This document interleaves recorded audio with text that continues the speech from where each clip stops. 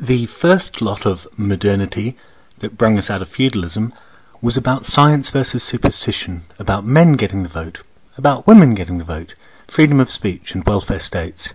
Problems were mostly around how best to dominate nature, extract raw materials and divide them democratically. During reflexive modernity, in the words of one of the theorists who coined the phrase, the human species is now faced not with the problem of harnessing or controlling nature for the benefit of humankind, but essentially with problems resulting from techno-economic development itself. In the words of Mike Aitken, we should think of reflexive more in the sense of reflex than reflection. In other words, the notion is about social development arising as a reflex to previous decisions or activities which may give rise to unintended or even surprising consequences. Why is it useful for thinking with? Because it gives you a long-term and sociological perspective. It's not the Anthropocene.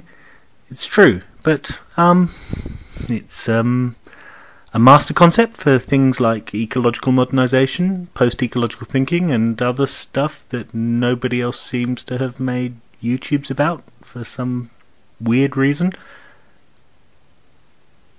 What do you have to watch out for with the concept? Well, the strength of the anti-reflexivity movement, all them denialists, and the partial blindness of, to power that reflexive modernization geeks seem to have.